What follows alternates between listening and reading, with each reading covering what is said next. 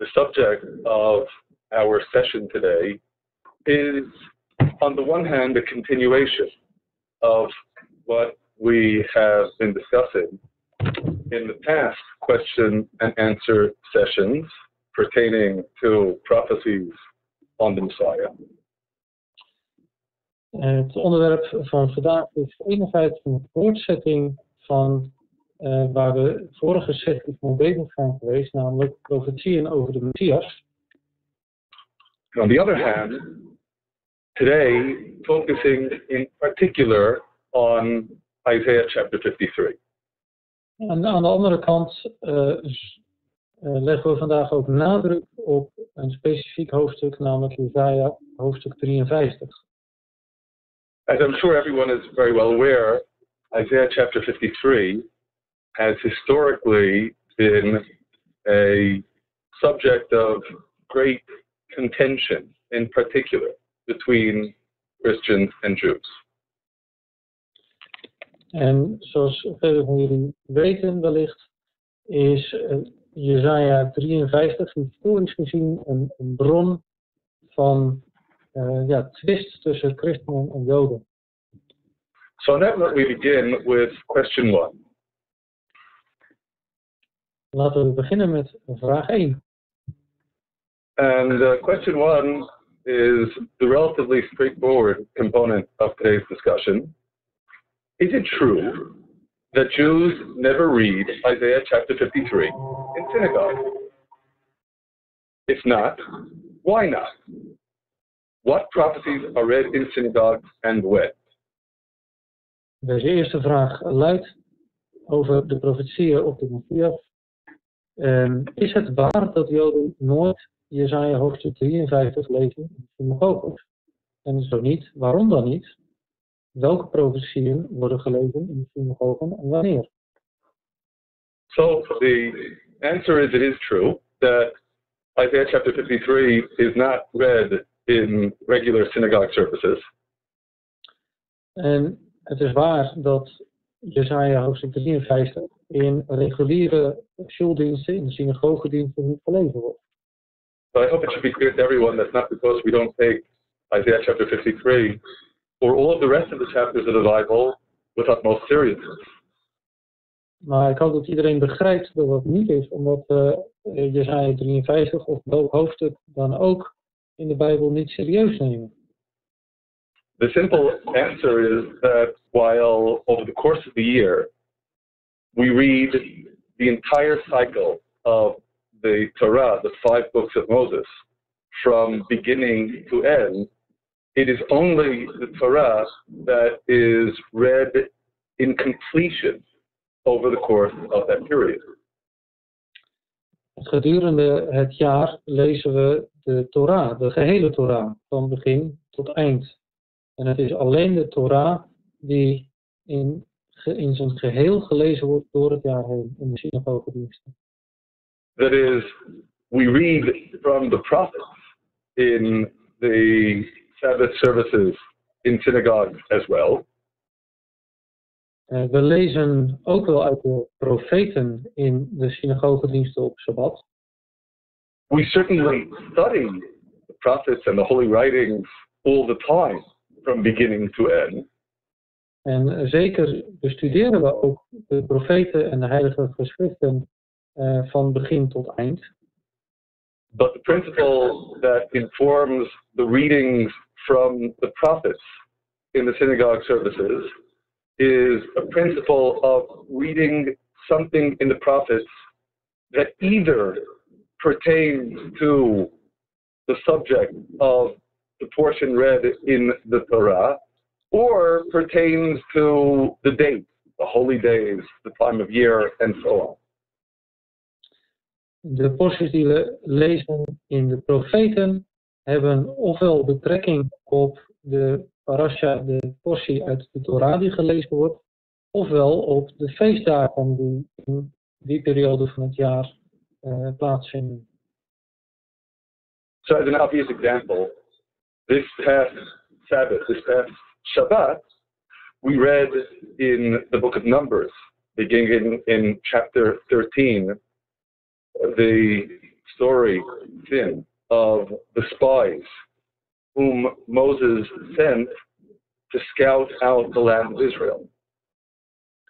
Ter voorbeeld, afgelopen Shabbat lazen we uit het boek Numeri, beginnend bij hoofdstuk 13, over de verspieders die Mozes uitzond om het land te verkennen. The reading from the prophets was from the book of Joshua, chapter 2, the description of the spies whom Joshua sends to scout out the land, in particular, to scout out Jericho.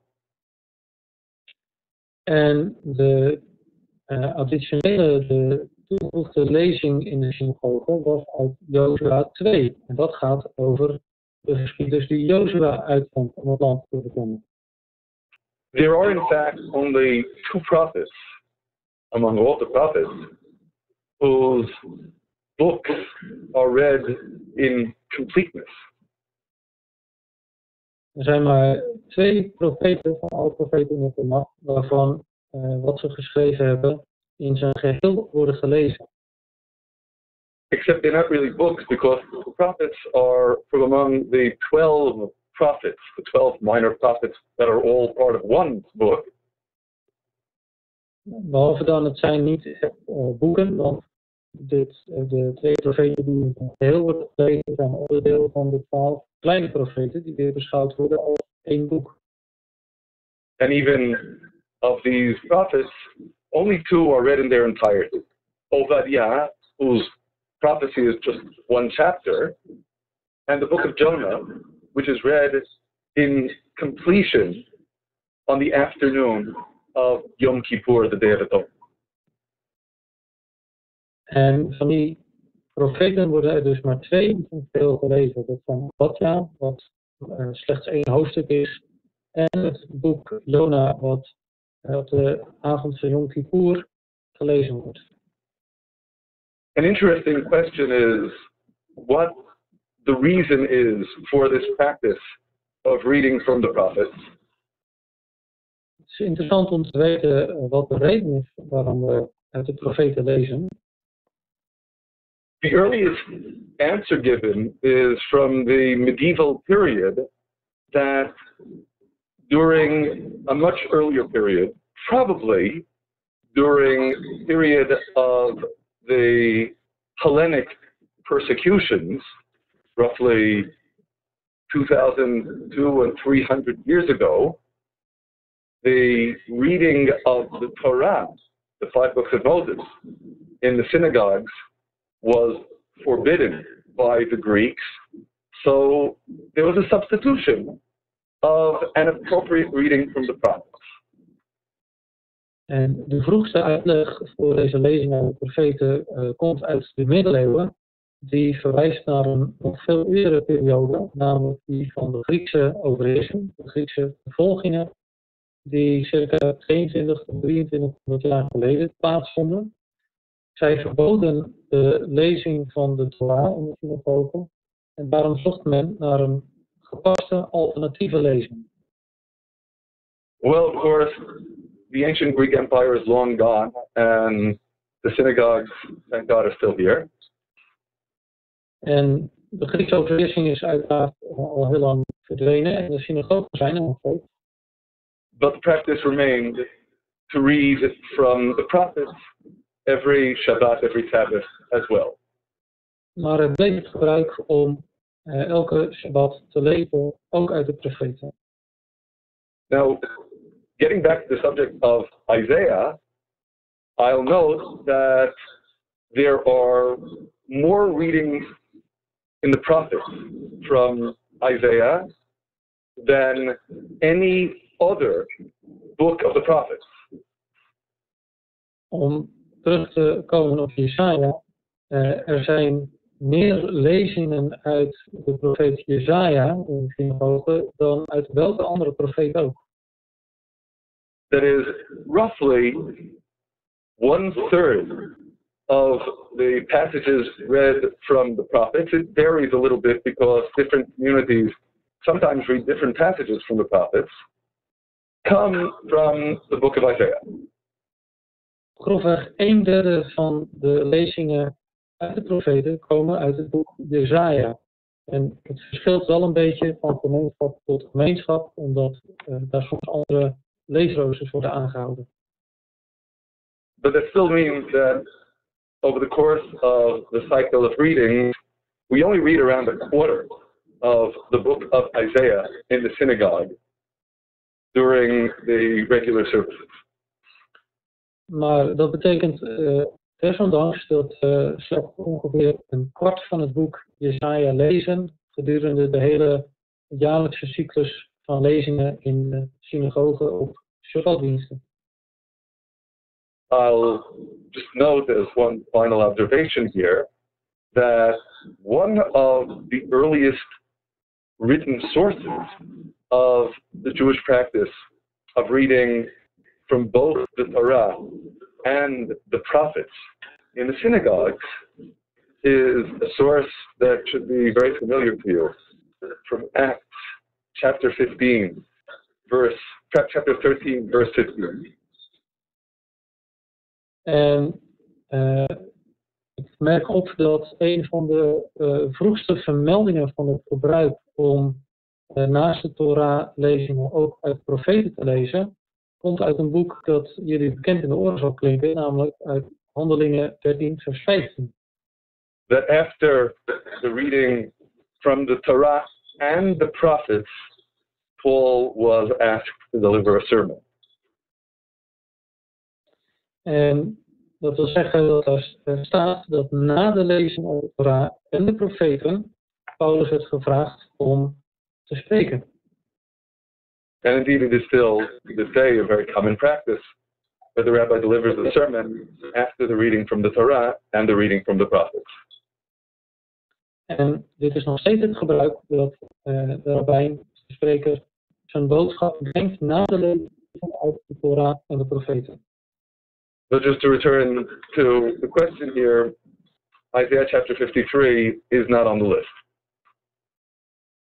Maar om terug te keren naar de vraag, Jesaja 53 staat dus niet op de lijst. Of course, again, not because we don't take the words of the prophet seriously. En nogmaals, dat is niet omdat we de woorden van de profeten niet serieus zouden nemen. As we have discussed, we take every single word of the Bible utmost seriousness. Zoals we eerder besproken hebben, we ieder woord in de Bijbel bloedserieus. So, on that note, we move on to the second question. En zo komen we uh, door komen we aan bij vraag 2. If you believe in the words of Isaiah, what do you believe Isaiah chapter 53 is teaching us? Who is God's suffering servant? And what is God's mission and purpose for him? Vraag 2 luidt: Als u gelooft in de woorden van Jesaja, wat gelooft u dan dat Jesaja 53 ons leert? Wie is Gods lijdende dienstknecht? En wat is Gods missie en doel met hem? Now, of course, on the one hand, I must concede that an exhaustive discussion of Isaiah chapter 53 is beyond the scope of what we can do right now, which is fine because we have our series on the visions of Isaiah doing, we try, a chapter every session, and when we get to Isaiah chapter 53, we'll be able to elaborate further. Toegeven dat uh, de sessie van vanavond te kort zal zijn om Jesaja 53 in zijn geheel te behandelen. Maar dat hoeft niet zo erg te zijn, want we hebben uh, natuurlijk ook nog de serie onderwijzingen uit het uh, boek Jesaja, waarbij we hoofdstuk voor hoofdstuk vanzelf bij hoofdstuk 53 zullen aankomen. So the primary focus of our attention at present will be identifying the servant. The servant. Who is God's servant in Isaiah chapters 52 and 53? Onze focus voor vandaag zal zijn om die dienstknecht in Jesaja 52 en 53 te identificeren. Now, simply as a structural observation, we should note that the discussion of Isaiah chapter 53 really needs to begin in Isaiah chapter 52 with verse 13 here. En het is uh, van goede structuur goed om de analyse van hoofdstuk 53 te beginnen bij hoofdstuk 52 in vers 13. We have noted in the past that the division of the books of the Bible into chapters, with the exception of the Psalms, is a relatively late division that is not actually part of our tradition. We hebben eerder het wel eens over gehad dat de hoofdindeling in de Bijbel, met uitzondering van de psalmen, een relatief nieuwe indeling heeft die uh, niet overeenstemt ook met de logische traditie. So beginning in chapter 52, verse 13, we read, Behold, my servant shall prosper. He shall be exalted and lifted up and shall be very high. Uh, beginnen dus in hoofdstuk 52, vers 13. Zie, mijn knecht zal verstandig handelen. Hij zal verhoogd worden en verheven, ja, zeer hoog verheven worden. This is in the end because, verse 14, according as many were appalled at you, so marred was his visage, unlike that of a man, and his form unlike that of the sons of men. Vers 14, zoals velen zich over u hebben, zo geschonden was zijn gezicht meer dan van iemand anders, en zijn gestalte meer dan van andere mensenkinderen. Verse 15, so shall he cast down many nations. Kings shall shut their mouths because of him, for that which had not been told them they saw, and that which they had not heard they perceived. Uh, zo zal hij vele heidevolken uh, besprenkelen. Uh, koningen zullen vanwege hem ook staan. Want zij aan wie het niet verteld was, zullen het zien. En zij die het niet gehoord hebben, zullen het begrijpen. Ik moet opmerken dat er uh, kleine uh, taalverschillen zijn in onze Nederlandse vertaling ten opzichte van de vertaling die Chaim leest. There are small differences in translation. Uh, now, now it follows is what they say, what the nations say with respect to this servant. For the purposes of our discussion at present, I continue in chapter 53, verse 10. Yet God desired to crush him, servant, by disease, to see his soul would offer itself in restitution, that he might see his seed prolong his days, and that the purpose of God might prosper by his hand. En van nu springen we hoofdstuk 53, vers 10. Maar het behaagde de Heer te verbrijzelen. Hij heeft hem ziek gemaakt. Als zijn ziel zich tot een schuldoffer verteld zal hebben, zal hij nageslacht zien. Hij zal de dagen verlengen. Het welwagen van de Heer zal door zijn hand gevoelig zijn. Verse 11, again, the reference to God's servant, that is, God as it were, says, Of the travail of his soul he shall see to the full, even my servant, who by his knowledge did justify the righteous one to the many, and their iniquities he did bear. In vers 11 wordt de knecht weer genoemd om de moeitevolle, moeitevolle inspanning van zijn ziel zal hij het zien Hij zal verzadigd worden. Door de kennis van hem zal de rechtvaardige, mijn knecht, velen rechtvaardig maken, want hij zal hun ongerechtigheden dragen. And finally, chapter 53, verse 12, the ultimate resolution. Therefore, will I divide him a portion in public, and he shall divide the spoil with the mighty, because he bared his soul unto death and was numbered with the transgressors, yet he bore the sin of many and made intercession for the transgressors. En vers 12. Daarom zal ik hem veel toedelen en machtigen zal hij verdelen altijd, omdat hij zijn ziel heeft uitgestort in de dood, onder de overtreders is geteld, omdat hij de zonde van velen gedragen heeft en voor de overtreders gebeden heeft. And the question, the critical question, who does God call my servant? En nu de belangrijkste vraag. Wie noemt God mijn knecht? It's here in chapter 53, verse 11. It was also at the beginning of the passage in chapter 52, verse 13, my servant. In both instances, my servant in Hebrew, Avdi. Het staat hier in Jesaja 53, vers 11. En het stond ook in Jesaja 52, vers 13. Mijn knecht in het Hebreeuws, Abdi. So the question, who does God call Abdi, my servant, in Isaiah? Dus de vraag, wie noemt God Abdi, mijn knecht?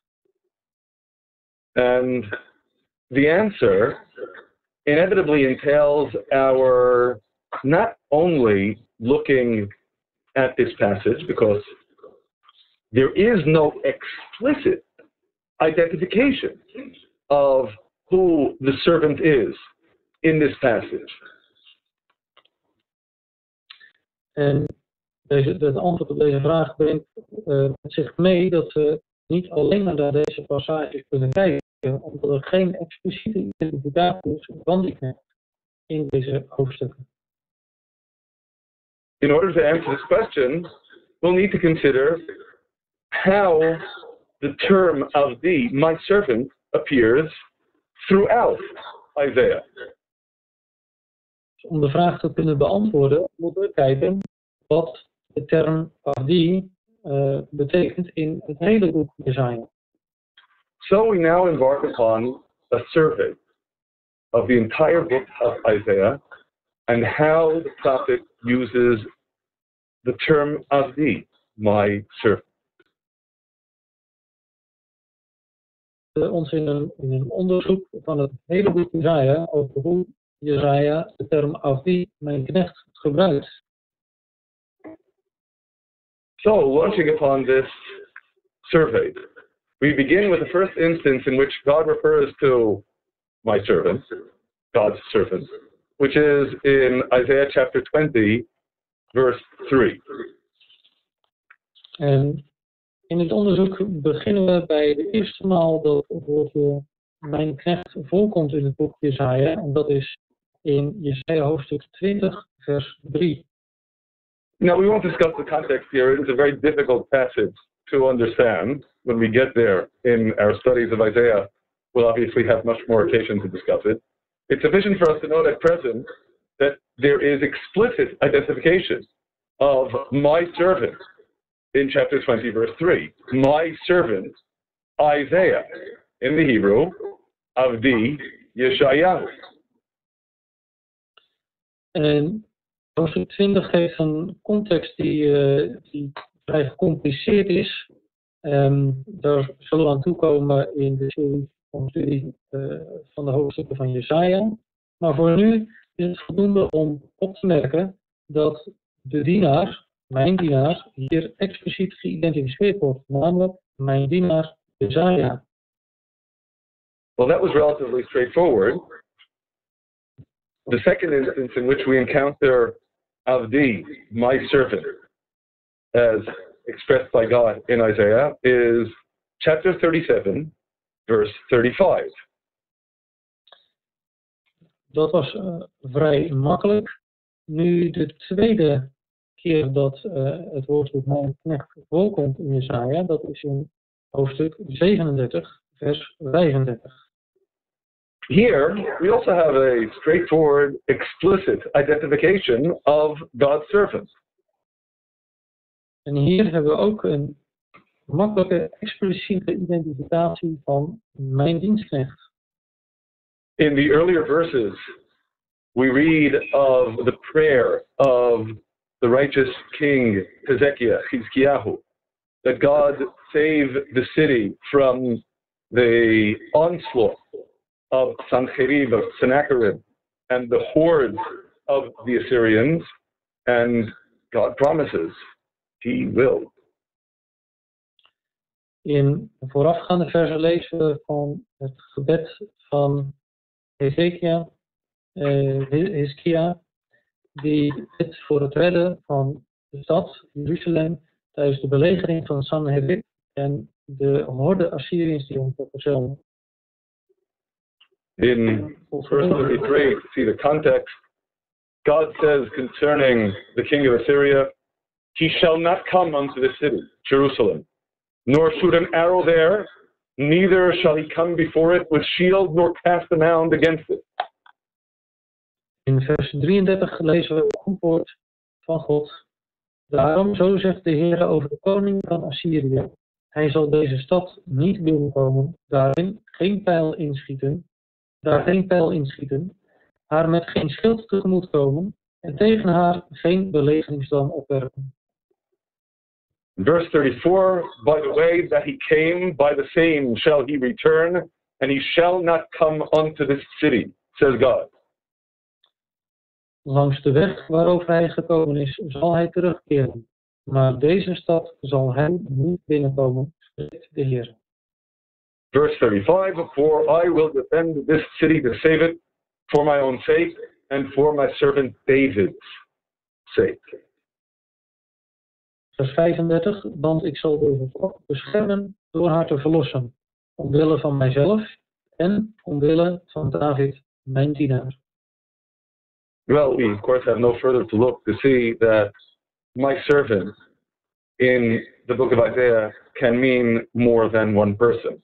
That is, in chapter 20, verse 3, it referred explicitly to Isaiah. In chapter 37, verse 35, it refers to David. Nou, we hoeven niet eens verder te kijken om vast te kunnen stellen dat uh, mijn knecht in het boek Jezaja verschillende personen kunnen betekenen. Want in hoofdstuk 23 was het Jezaja die dit niet was. En in dit hoofdstuk 37 is het David. We have a whole spate of references to my servant in Isaiah, beginning in chapter 41, where the identity of the servant is also explicit and in these various instances is always the same. En vanaf hoofdstuk 41 in het boek Jesaja hebben we een hele stortvloed van het voortkomen van, voorkomen van de term mijn dienaar. En ook daar is de identificatie heel expliciet. In Isaiah chapter 41, verse 8, that you, Israel, my servant, Jacob, whom I have chosen, the seed of Abraham, who loved me. In Jesaja 41, 8. Maar u, Israël, mijn dienaar, u, Jacob, die ik verkozen, het nageslacht van Abraham, die mij lief had. And in the same vein, in the following verse, God says, You are my servant, I have chosen you and not cast you away. Again, referring, of course, to Israel. En ook in het uh, volgende vers. U die ik gegrepen heb van de einde der aarde, geroepen uit haar uithoeken, en tegen wie ik zei, u bent mijn dienaar. Ik heb u verkozen, ik heb u niet verworpen. Wederom gaat het dan dus over Israël. We encounter my servant once again in Isaiah chapter 43, verse 10. You are my witnesses, says God, and my servant, whom I have chosen, that you may know and believe me and understand that I am He. Before me there was no God formed, neither shall any be after me. In Jesaja 43, vers 10 vinden we opnieuw mijn knecht. U bent mijn getuigen, spreekt de Heer, en mijn dienaar die ik verkozen heb, opdat u het weet en mij gelooft, en begrijpt dat ik dezelfde ben. Voor mij is er geen God gevonden, en na mij zal er geen zijn. Now, granted, in chapter 43, verse 10, there also isn't an explicit identity of the servant, but it becomes clear when we consider the beginning of the chapter. in verse 1. Ik moet wel toegeven dat in uh, Jesaja 43 vers 10 niet meteen duidelijk is wie die dienaar is, maar het wordt wel duidelijk als we kijken naar het eerste vers van het hoofdstuk. But now, thus says God who created you, O Jacob, and he who formed you, O Israel. Fear not, for I have redeemed you, I have called you by your name, you are mine. 43 vers 1. Maar nu, zo zegt de Heer, uw schepper, o Jacob, uw vermeerder, o Israël. Wees niet bevreesd, want ik heb u verlost. Ik heb u bij uw naam geroepen, u bent van mij. And likewise in verse 3 For I am God, your Lord, the Holy One of Israel, your Savior. En in vers 3 Want ik ben de Heere uw God, de Heilige van Israël, uw heiland. So clearly, when we get to verse 10, we know when God says, You are my witnesses and my servant whom I have chosen, he's clearly still speaking of Israel. Dus zo wordt het ons duidelijk dat als we bij vers 10 komen en er staat: U bent mijn getuigen, spreekt de Heer, en mijn dienaar die ik verkozen heb, dat mijn dienaar nog steeds slaat op Israël. Now, the same thing becomes explicitly clear at the beginning of Isaiah chapter 44. En hetzelfde zien we in, aan het begin van hoofdstuk 44. Verse 1 Yet now hear, O Jacob, my servant, and Israel, whom I have chosen. 44 vers 1. Maar nu, luister Jacob, mijn dienaar, Israël, die ik verkozen heb. And likewise in verse 2, Thus says God, who made you and formed you from the womb, who will help you. Fear not, O Jacob, my servant, and you, Yeshurun, whom I have chosen. En ook zo in vers 2. Zo zegt de Heer uw maker en uw formeerder van de moederschool af, die u helpt. Wees niet bevreesd, mijn dienaar Jacob, Yeshurun, die ik verkozen heb. Now, of course, we'll note we have discussed this previously in our studies of the Torah, of the change of Jacob's name to Israel, that Jacob and Israel are used interchangeably. We see this likewise in verse 21 here. Remember these things, O Jacob and Israel, for you are my servant. Jacob is called God's servant, Israel is called God's servant. It is, of course, in both instances, a reference to the same nation. I have formed you, you are mine own servant. O Israel, don't forget. En we hebben het eerder in de Torah-studies gehad over de naamsverandering uh, van Jacob naar Israël. Maar dat die namen naast elkaar nog steeds uitwisselbaar gebruikt kunnen worden. Dat zien we hier en ook in vers 21, waar het volgende staat. Denk aan deze dingen, Jacob, Israël, want u bent mijn dienaar. Ik heb u geformeerd, u bent mijn dienaar. Israël, u zult door mij niet vergeten worden. And once again, in Isaiah chapter 45, in verse 4, for the sake of Jacob, my servant, and Israel, my chosen. En nogmaals in hoofdstuk 45, in vers 4, ter wille van Jacob, mijn dienaar, Israël, mijn uitverkorene. And finally, in Isaiah chapter 48, in verse 20, God has redeemed his servant, Jacob. En nogmaals in Jesaja 48, vers 20. Uh, aan het einde van het vers. De Heer heeft zijn knecht Jacob verlost. Now, this survey leaves three passages of Isaiah not yet clarified. En dit onderzoek van het boek Jesaja op dit punt laat drie passages nog uh, ja, wat onderbelicht.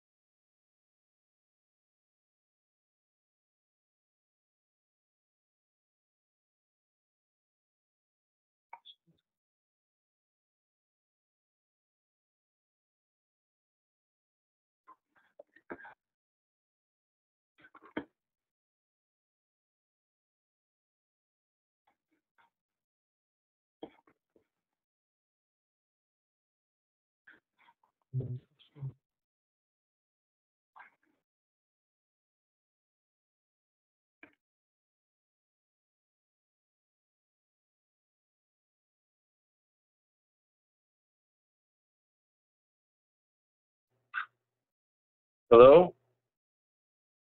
Hello? Hello? Hello? Do you hear me? Chaim, Hello? I, I can I can hear you, Chaim. Okay. Yeah, sorry, I had some internet problems. Okay, but um, yeah, my Can you first. hear me? Uh, sorry. Can you hear Okay. me? Yeah, yes, yes. Now I, okay, I think, I think we're back. I think that was Okay. Okay, yeah, thank you. Um, i- is Jan with us? Uh, let me try. I don't. I. I see you. Yes, I'm back. Okay, okay, yeah. Okay. Hi, okay, yeah. uh, Sorry about that. We had some internet internet problems here, um, but uh, I hope they're behind us. Excuses, wat internetproblemen hier, maar ik hoop dat het zo niet beter gaat.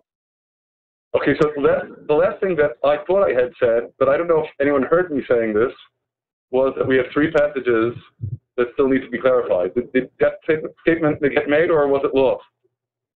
Uh, ik got through for, for my part. Okay. I'll- Okay, I'll okay. Dus het laatste wat, we eh, wat Fijn zei voordat de verbinding verbroken werd, was dat er drie passages zijn die we nog later moeten bekijken. Those passages are Isaiah chapter 42, Isaiah chapter 49, and of course, Isaiah chapters 52 and 53. En die drie passages zijn Jesaja hoofdstuk 42, hoofdstuk 49 en natuurlijk hoofdstuk 52 en 53. And our challenge, of course, is trying to determine who God means in saying, my servant, in these three passages. En onze uitdaging is om te zien wie God bedoelt met mijn knecht in deze drie passages. So let's begin with the first of these passages, Isaiah chapter 42. There's an interesting connection between Isaiah chapter 42 and chapter 49, as we shall see. And then we'll continue returning to Isaiah chapters 52 and 53. Dus laten we beginnen bij de eerste van deze passages in Jesaja hoofdstuk 42. En er zit ook een connectie tussen eh, hoofdstuk 42 en 49. En zelfs verder door naar hoofdstuk 52 en 53, zoals we zien. Now, at the risk of spoiling the suspense, I'll just point out that if you're anticipating that we'll be able to come up with some very simple formula for answering these questions, you're going to be disappointed. Ik moet je van tevoren vertellen dat als je denkt dat hier een soort standaard formule uitkomt om eh, dit soort vragen makkelijk te kunnen beantwoorden, dan moet het je helaas teleurstellen. We begin again with Isaiah chapter 42. We beginnen nogmaals met hoofdstuk 42. Verse 1 Behold my servant, whom I uphold, my chosen, in whom my soul delights, whom my soul desires. I have put my spirit upon him. He shall make justice to go forth to the nations. Hoofdstuk 42 vanaf vers 1. Zie mijn knecht die ik ondersteun, mijn uitverkorene, in wie mijn ziel een weldadigheid heeft. Ik heb mijn geest op hem gelegd. Hij zal tot de heidenvolken het recht doen uitgaan. Verse 2 He shall not cry, nor lift up, nor cause his voice to be heard outside. Vers 2. Hij zal niet schreeuwen, hij zal zijn stem niet verheffen. Hij zal zijn stem op straat niet laten horen.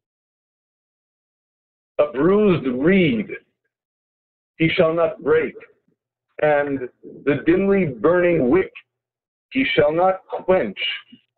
He shall make justice to go forth according to the truth.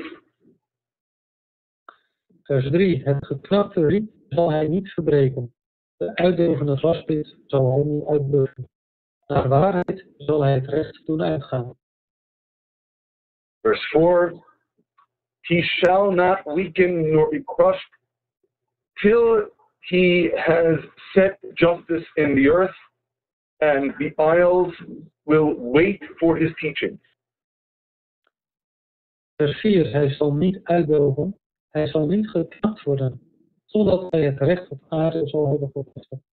De kustlanden zullen uitzien naar zijn onderricht.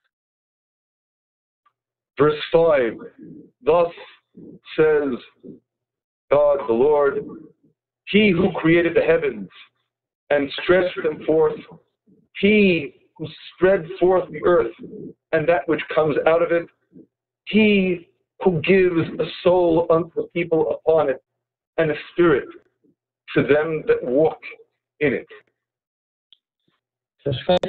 Zo zegt God de Heer, die de hemel heeft geschapen en hem heeft die de aarde heeft uitgespreid en wat daarop uitspreidt, die de adem geeft aan het volk dat daarop is, en geest aan hen die daarop wandelen. Verse 6 I, God, have called you in righteousness, and have taken hold of your hand and kept you, and set you for a covenant of the people, for a light of the nations. Vers 6. Ik, de Heer, heb u geroepen in gerechtigheid. Ik zal u bij uw hand grijpen. Ik zal u beschermen en ik zal u stellen tot een verbond voor het volk, tot een licht voor de heidenen, voor de hele volken.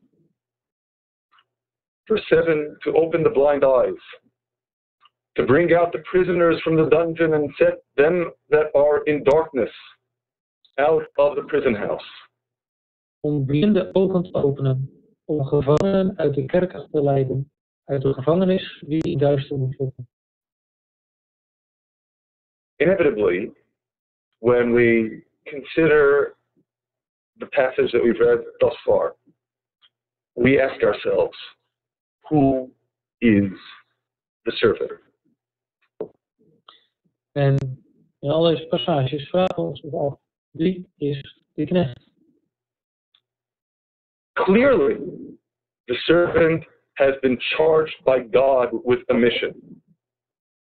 Het is duidelijk dat God deze knecht eh, een missie heeft opgelegd.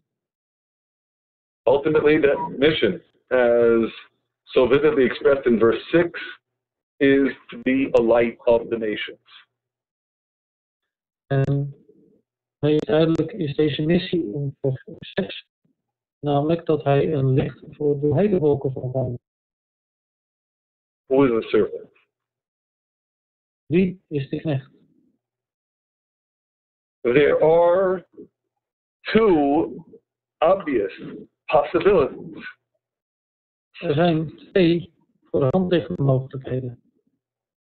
Maybe there are more, but I can think of two, and I must note that scholars highlight two candidates who could serve in that role. Ik zie in ieder geval twee duidelijke mogelijkheden en ook onze leraren geven twee mogelijkheden, twee personen voor wie deze rol van knecht zou kunnen vervullen. One is the Messiah, Eén is de Messias, who, of course, is charged with a mission by God. die uiteraard ook een missie van God heeft gekregen. The other is Israel, who is also charged with a mission explicitly by God. De andere mogelijkheid is Israël, die ook een expliciete missie van God heeft gekregen. So if at this point you are expecting me to say, and the right answer is, En op dit moment verwachten jullie wellicht dat ik zal zeggen, en het juiste antwoord is, maar daar moet ik jullie teleurstellen.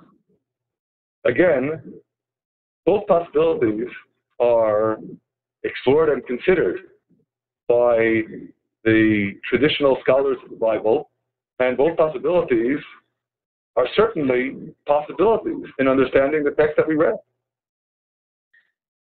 Beide mogelijkheden zijn uh, uitgebreid gekend en onderzocht door Bijbelgeleerden.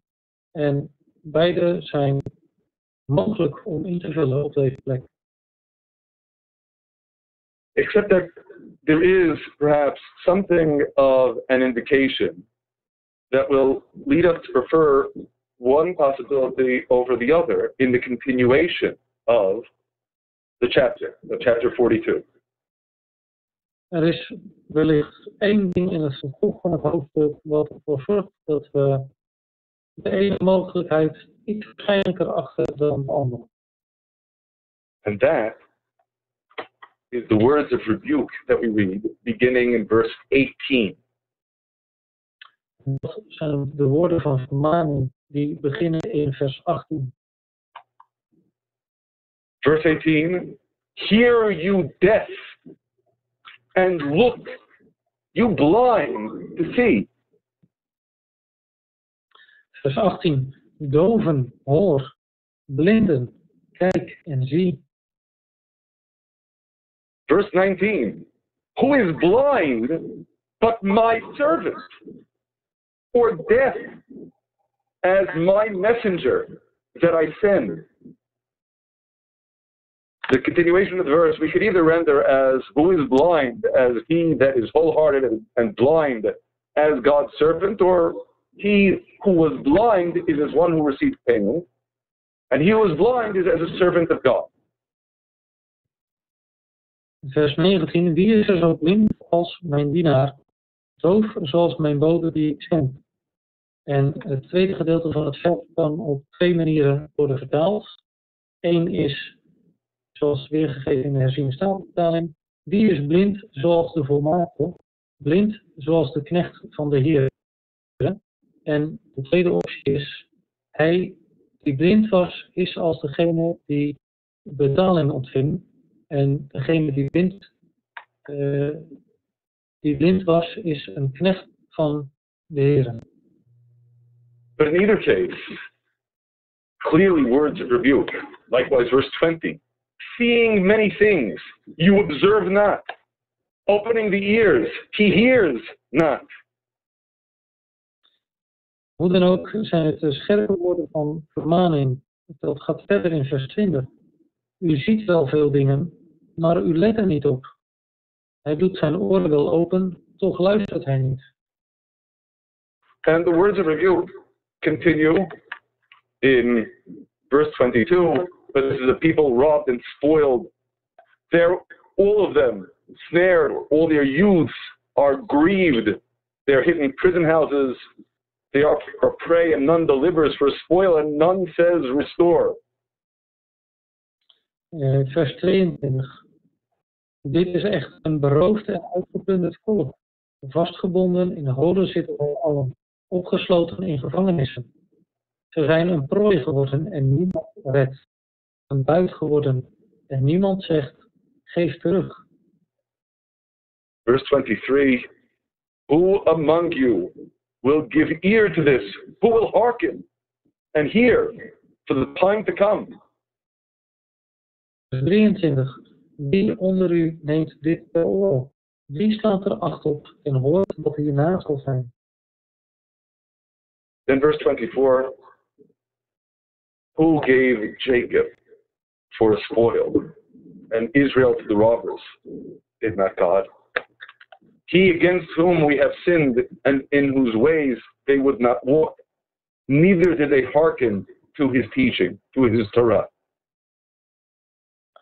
En in vers 24. Die heeft Jacob tot buit gegeven. En Israël is het niet de Heer, hij tegen wie wij gezondigd hebben, want zij wilden in zijn wegen niet gaan en zij luisterden niet naar zijn Torah, zijn wet. So who is God's servant? Dus wie is Gods dienaar? I'm still going to reiterate both possibilities, referring to the Messiah or referring to Israel. ik uh, herhaal nogmaals dat uh, de, de, twee mogelijkheden, uh, ofwel de Messias ofwel het volk Israël. But one cannot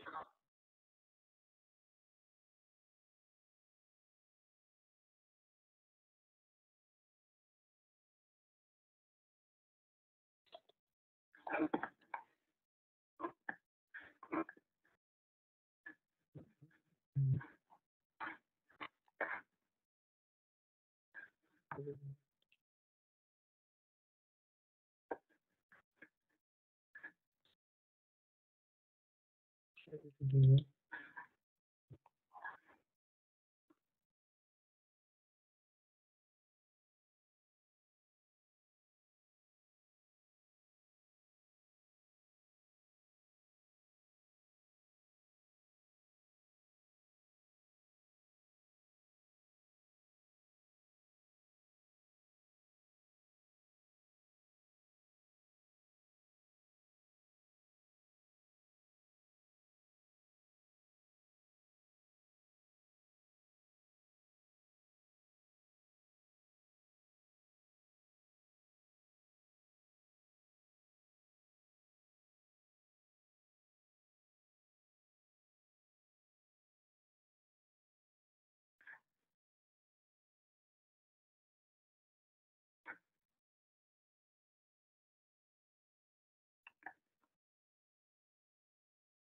Hello?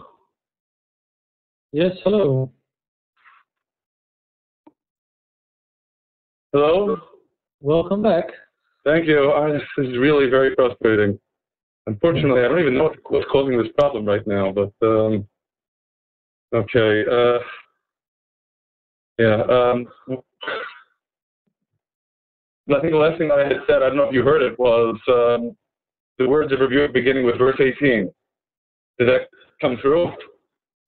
Uh, uh, slightly before that, I, I think. Okay, that, okay. So, oh boy, okay. So we, we um, I, I, I had stated that we still have both possibilities, right? That much got through?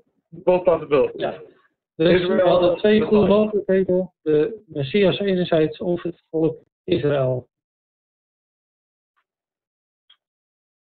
But when we consider what's taking place, beginning in verse 18, there is a clear message that the prophet is conveying. Maar als we in de ogenschouw nemen de boodschap die begint vanaf vers 18, dan eh, is het toch, toch al een, een bepaalde boodschap die de profeet over wil brengen. It's important for us to appreciate that what's translated here as my servant in Hebrew, avdi, is exactly the same word that is used in verse 1. Avdi, my servant. Het is belangrijk om op te merken dat het woord voor mijn dienaar dat hier gebruikt wordt in bijvoorbeeld vers 19 exact hetzelfde is als eh, het woord dat gebruikt wordt voor mijn in vers 1.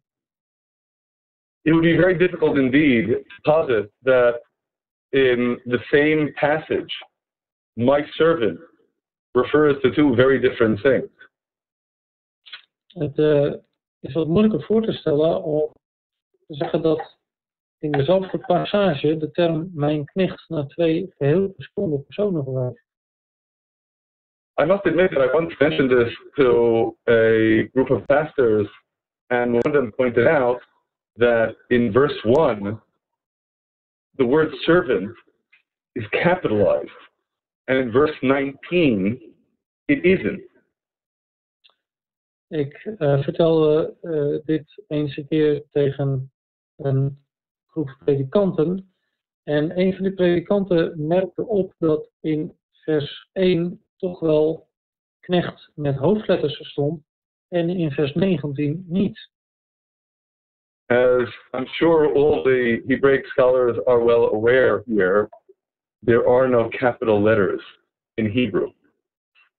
En zoals eh, eh, en ieder die wat Hebreeuws kent hier wellicht zal weten, er zijn geen hoofdletters in het Hebreeuws. Avdi my servant is exactly the same word in verse 1 as it is in verse 19. Avdi, het woord voor mijn knecht in vers 1 is exact hetzelfde als dat in vers 19. And of course, the reference in verse 24 is explicitly to Jacob and Israel. En dan natuurlijk de referentie in vers 24, dat expliciet over Jacob en Israël gaat. If you ask me to explain the chapter in what appears to me the most internally consistent manner,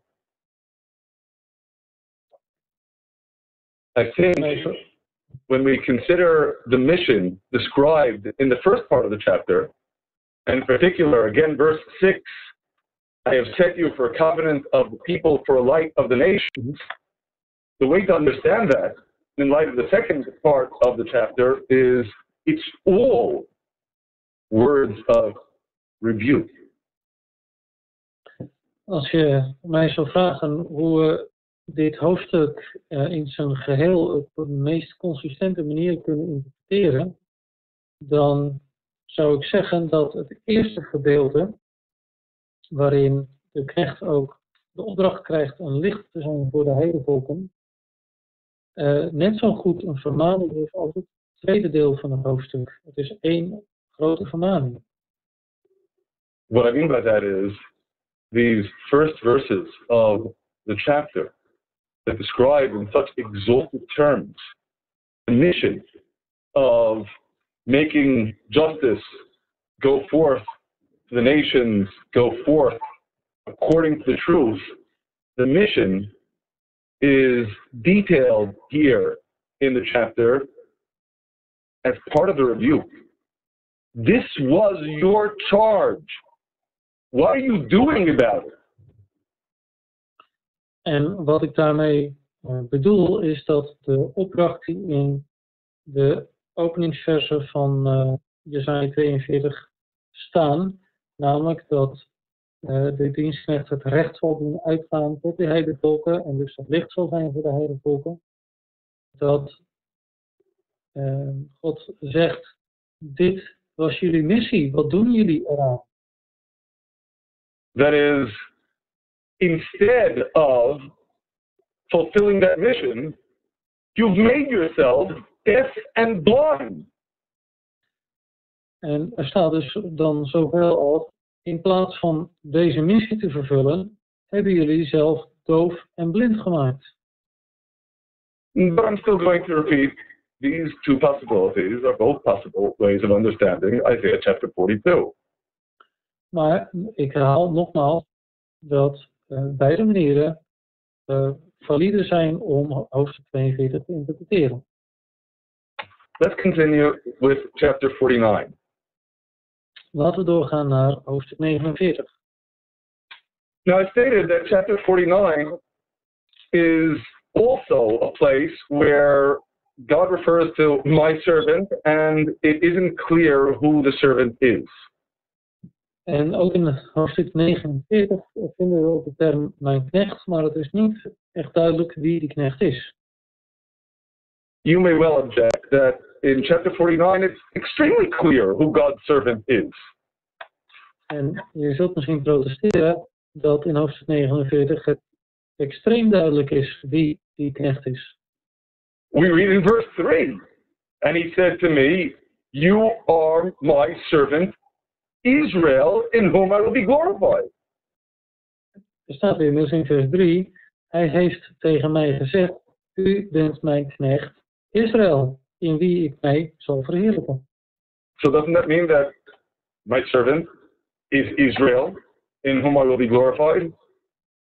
Dus betekent dat niet dat die knecht Israël is, in wie God verheerlijkt zal zijn?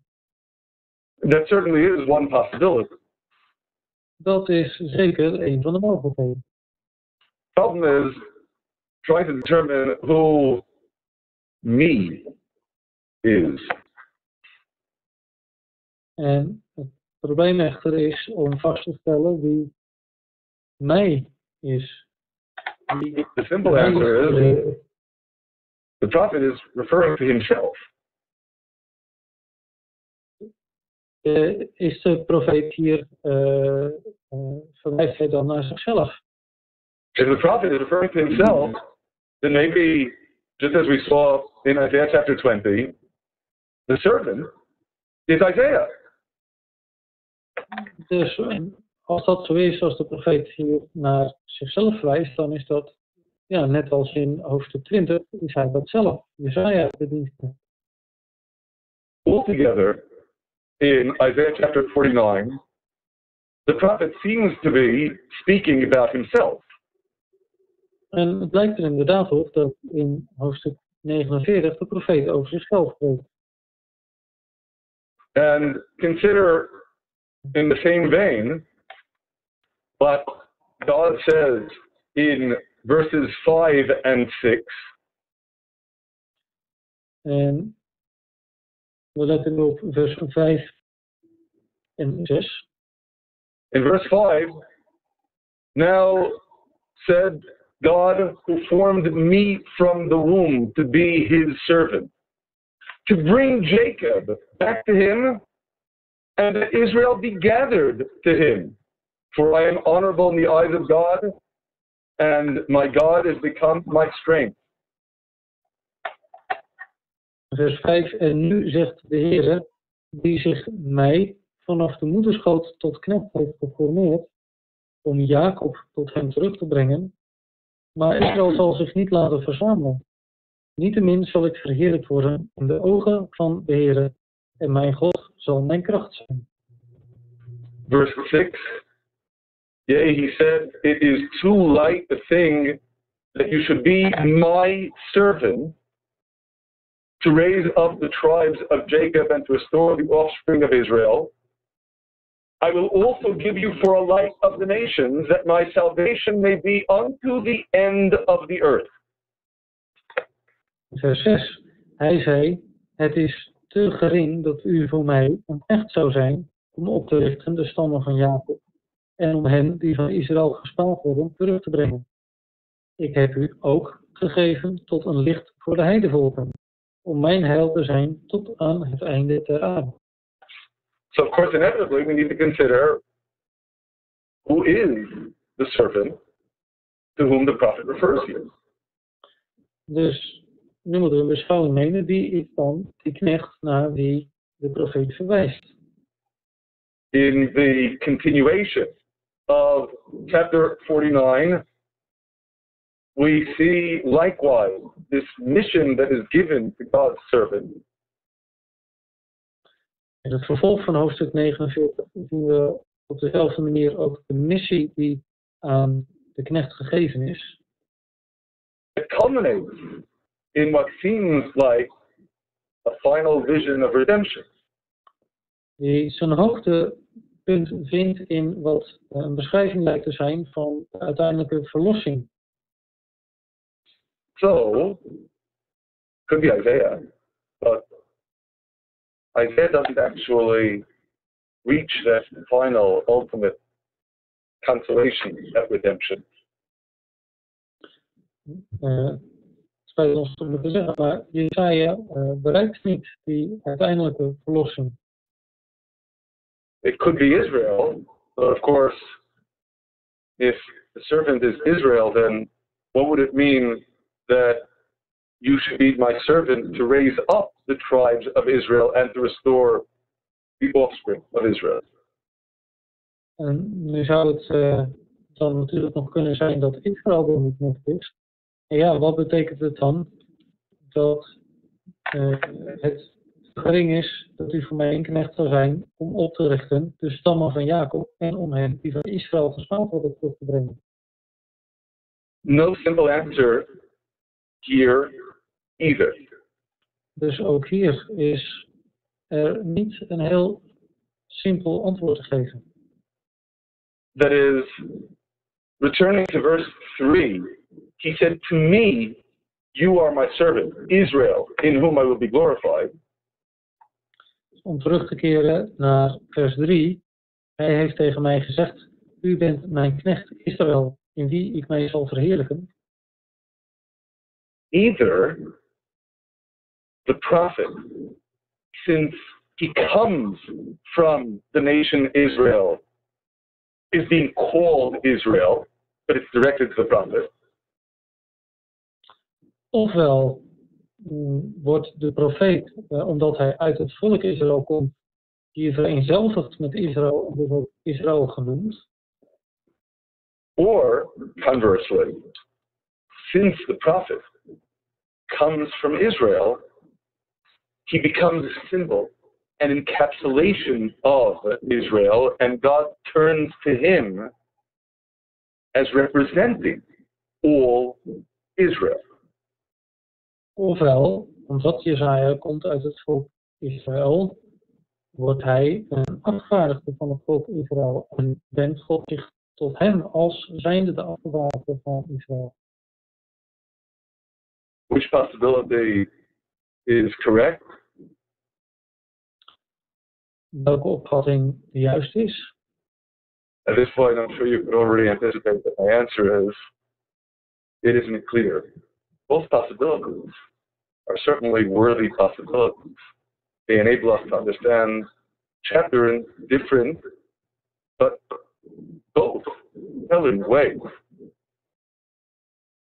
En jullie zullen waarschijnlijk ook kunnen raden wat mijn antwoord zal zijn. Het is niet heel duidelijk. Het zijn twee hele goede mogelijkheden. En het hoofdstuk is dan wel op verschillende manieren te lezen, maar beide zijn geldige opvattingen, geldige interpretaties. So to summarize, Isaiah chapter 42 refers to God's servant, and we could understand it as referring to the Messiah, we could understand it as referring to Israel. Dus om het samen te vatten, Jesaja 42 ging over Gods dienaar, Gods knecht. En we konden dat interpreteren als dat het gaat over de Messias of over het volk Israël. And Isaiah chapter 49 also refers to God's servant, that it could be referring to the prophet Isaiah, and it could be referring to Israel. En in hoofdstuk 49 lezen we ook over een knecht, een dienaar. En dan kan het slaan op Jesaja of op het volk Israël. It is compelling to suggest that both passages refer to Israel and the expression for a light of the nations would then have the same object in both passages because the exact same expression appears in both chapter 42 verse 6 and chapter 49 verse 6 a light of the nations Het is wel zeer opvallend dat er uh, ja, in beide passages het volk Israël bedoeld zou zijn met mijn knecht. Dat dan ook de term een licht voor de heidevolken hetzelfde betekent in, in beide hoofdstukken. Omdat in beide hoofdstukken in vers 6 die term licht voor de heidevolken voorkomt. But still, we don't know. And two possibilities are still possibilities in each passage. Maar toch, we weten het niet met zekerheid. Het zijn uh, beide, in beide hoofdstukken zijn er meerdere mogelijkheden. And it is with that background that we turn once again to Isaiah chapters 52 and 53, that final passage in which the identity of God's servant is not clear. En met deze achtergrondinformatie komen we dan weer bij hoofdstuk 52 en 53. Uh, de laatste van de drie passages waarin het niet duidelijk is, niet direct duidelijk is wie die dienaar is. Now, I'm sure you are all aware of the Christian interpretation of this passage. I am. En ik denk dat jullie je allemaal bewust zijn van de christelijke interpretatie van uh, dit hoofdstuk, dat het daar staat op de Messias. If you ask me, what is the Jewish interpretation of this passage? Als je mij vraagt, wat is de Joodse interpretatie van deze passage? just as there are multiple perspectives with respect to Isaiah chapter 42 and with respect to chapter 49, there are multiple perspectives with respect to Isaiah chapters 52 and 53.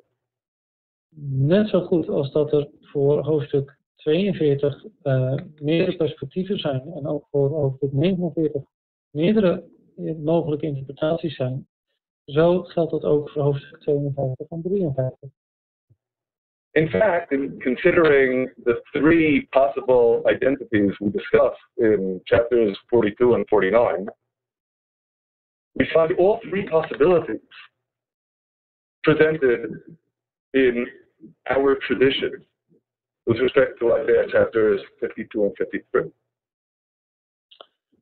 Uh, kijkend naar de in totaal drie mogelijkheden die we hebben gezien voor identificatie van mijn knecht in hoofdstuk 42 en 49, vinden we volgens onze Joodse traditie alle drie die mogelijkheden kunnen terugvinden in hoofdstuk 52 en 53. We can understand the serpent as referring to the prophet himself, Isaiah. We kunnen het zo opvatten dat mijn knecht verwijst naar de profeet zelf, Jezaja. We can understand the servant as referring to Israel. We kunnen het zo opvatten dat mijn knecht verwijst naar het volk Israël. And yes, you may be surprised to learn, we have in our tradition interpretations of this passage as referring to the Messiah. En wellicht tot je verrassing, we hebben ook in onze traditie een opvatting die uh, deze passage zo interpreteert dat hij gaat over de Messias. The truth is that uh, is my impression that with respect to the vast majority, possibly all of the verses in the Hebrew Bible for which there are Christian interpretations linking them with the Messiah, there was an earlier Jewish tradition that linked those verses with the Messiah. Um, en naar mijn opvatting geldt voor alle uh, teksten uh, die uh, volgens christelijke opvatting verwijzen naar de Messias. daarvoor bestaan eerdere Joodse tradities die die passages ook opvatten als een verwijzing naar de Messias. Of course, this shouldn't surprise us, considering that the authors of Christian scriptures were all Jews were very familiar with the Jewish traditions. Dit zou ons niet moeten verbazen, omdat uh, de christelijke geschriften geschreven zijn door Joden die allemaal bekend waren met die Joodse tradities. Of course, at this point, the direction in which we have been moving may be awfully dissatisfying. Maar tot nog toe zou uh, de weg waarop ons uh, bewegen richting een antwoord misschien niet erg bevredigend gaan zijn. So which is it?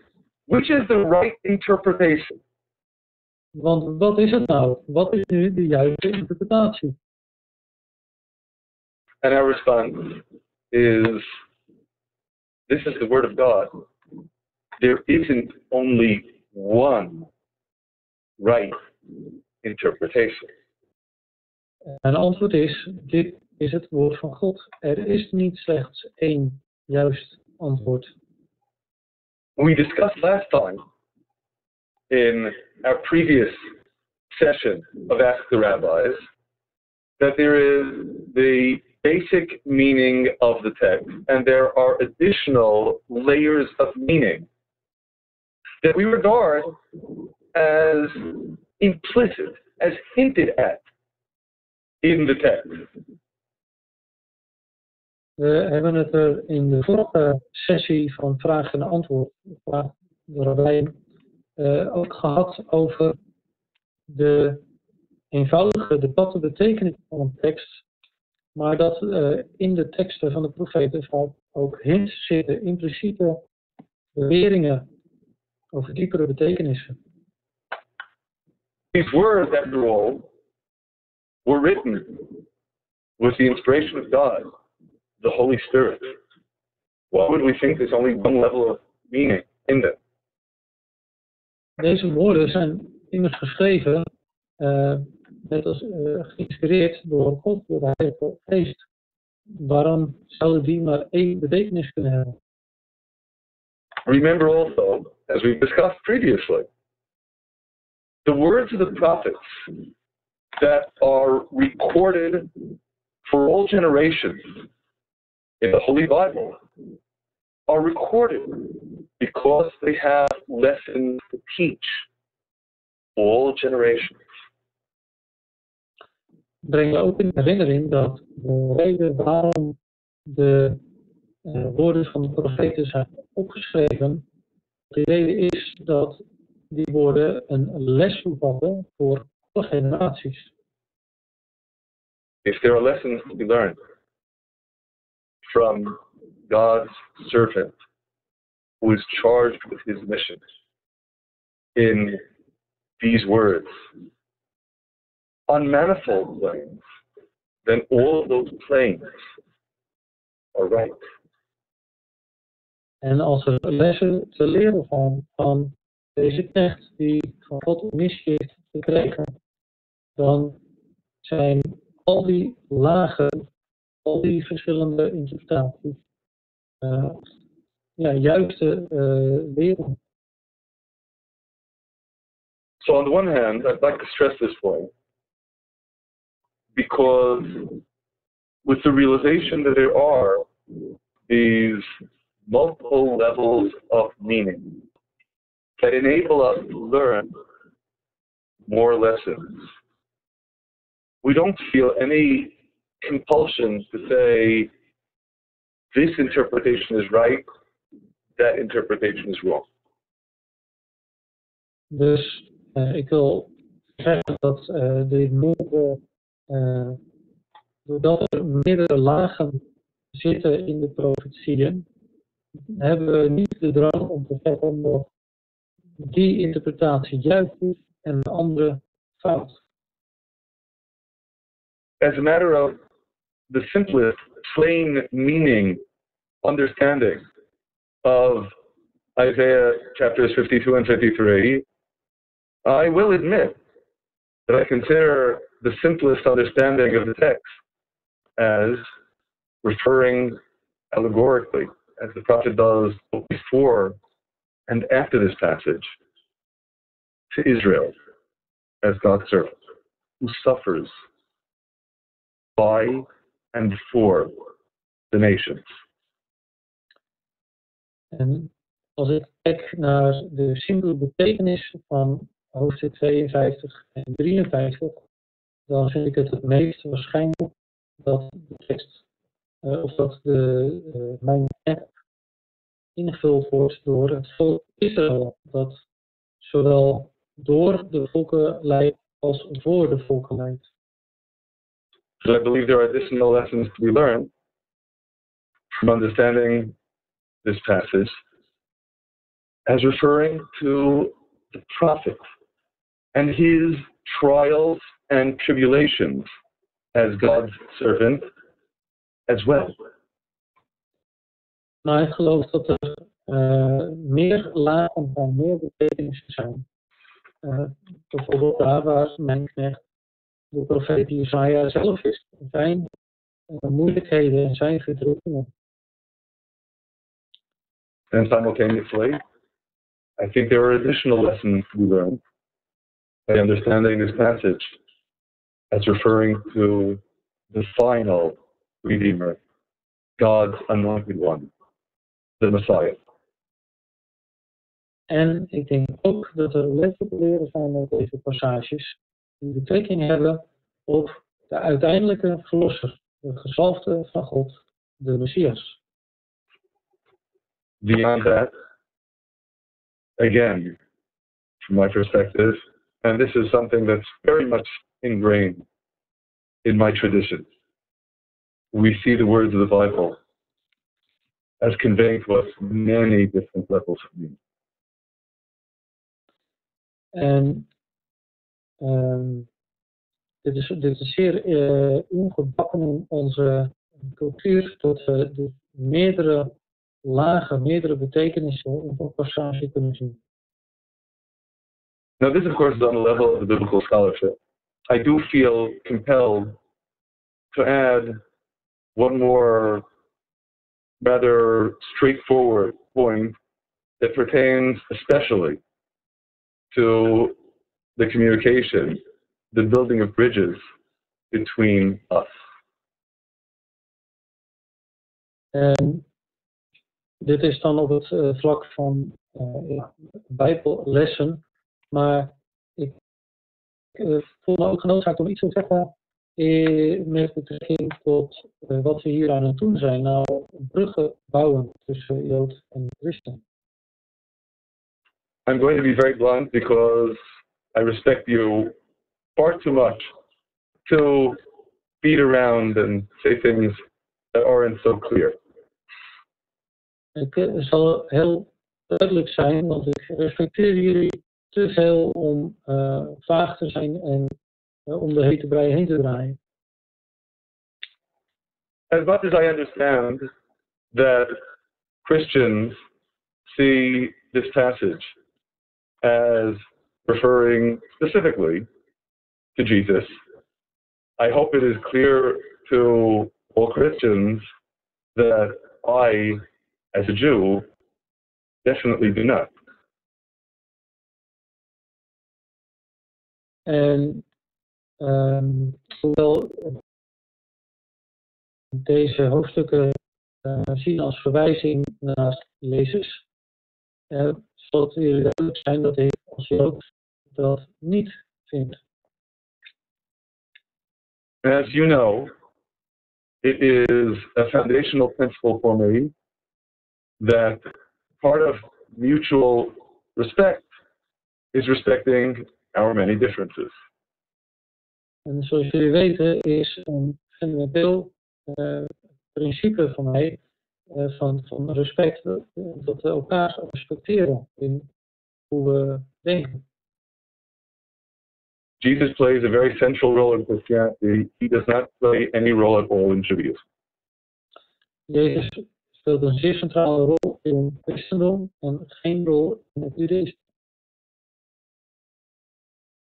So in stating that I reckon with the understanding of Isaiah chapters 52 and 53 as referring to the Messiah, I mean, of course, Israel's vision of the Messiah, the Redeemer, whom God sends, whom He has not sent yet, to usher in the redemption of the world.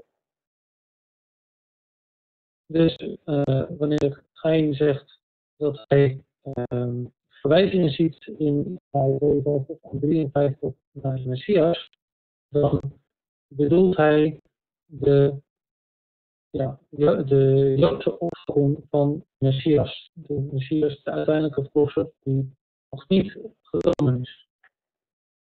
That stated, I do feel it is of critical importance for me to repeat a point that we made in the last session as well. Uh, nu ik dit gezegd heb, wil ik een opmerking herhalen die ik ook in de vorige sessie uh, gezegd heb. And historically, a major bone of contention between Christians and Jews, in particular in the disputations in the medieval period that were often forced upon Jews in the Christian countries in which they live was the issue of such passages in the Bible. En dit passages waren uh, ja, met name in de middeleeuwen de, het, het, centrale punt waarom de gesprekken draaiden, uh, waartoe Joden vaak verplicht werden om te voeren met, met christenen.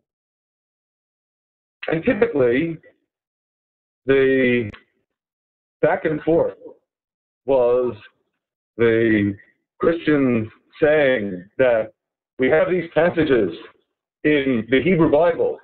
You Jews believe in the Hebrew Bible, and they prove our belief in Jesus.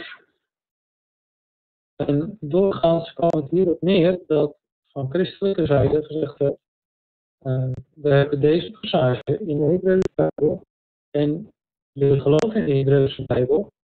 En we hebben hier een duidelijk bewijs uh, voor uh, Jezus als Messias. And the Jews saying something like, this is nonsense, they're not proofs of Jesus at all, they have nothing to do with the subject. En waarbij Joden antwoorden, wat een onzin, uh, deze passages bewijzen niks, daar helemaal niet mee te maken. And of course the consequence was that there really was no discussion, no dialogue taking place at all.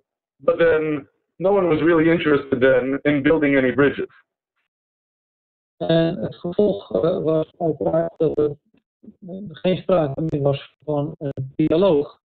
Maar ja, op dat moment was ook uh, niemand echt geïnteresseerd in het bouwen van bruggen.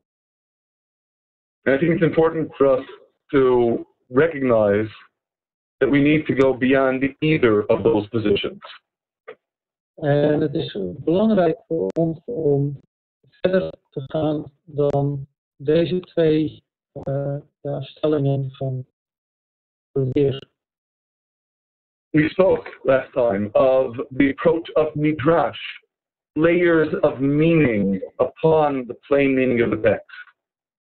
We hebben de vorige keer gesproken over midrash, het uh, hebben van meerdere lagen van betekenis bovenop de simpele betekenis van de tekst.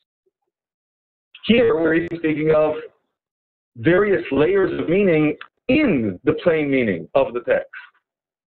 En hier hebben we het over meerdere lagen, meerdere mogelijke betekenissen in de uh, simpele betekenis van de tekst. On the one hand, when we recognize that there are multiple layers of meaning, obviously the text cannot be seen as a proof especially when it isn't intended as, in its basic meaning, a proof at all of such events. En het mag duidelijk zijn dat als er meerdere interpretaties mogelijk zijn, dat het dan niet kan dienen als een, als een bewijs. En ook in de oorsprong van de tekst, een oorspronkelijke doel, is het niet bedoeld als een bewijsvoering. On the other hand, to the extent that we understand the text in its plain meaning is referring to the events of the prophet. When we go beyond those events in the time of the prophet, it's not nonsense. It is simply applying the lessons of the prophet to additional subjects. That is, as we discussed, what Midrash is all about. En aan de andere kant, uh, als we de lessen van die uh, profeten nemen uit die, de tekst en ze toepassen op andere onderwerpen, dan is dat niet uh, onzin. Nee, dat is het toepassen van het doen van meerdere lagen van betekenissen.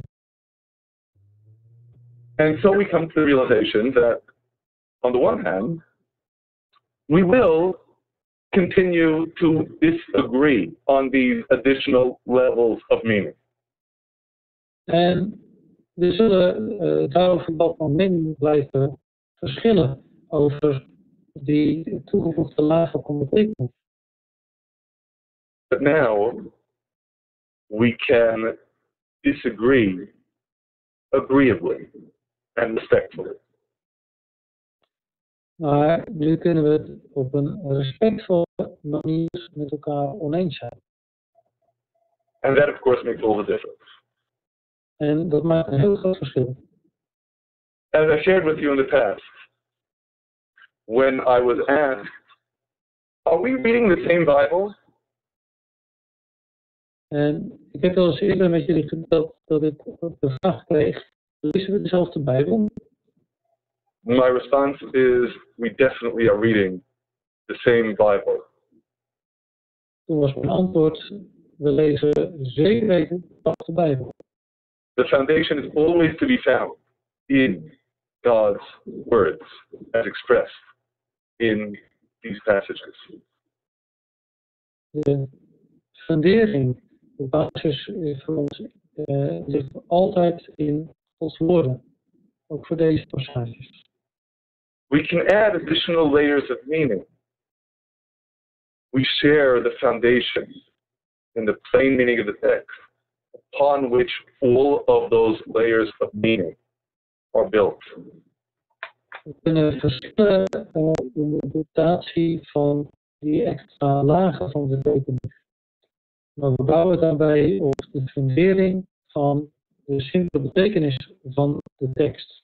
Dat als uitgangspunt kunnen we meerdere lagen van interpretatie hebben. And most of all, the conviction that it is on that most basic level that we are reading the words of God through his prophets that are there to guide us in living our lives as he instructs us. Uh, en het is.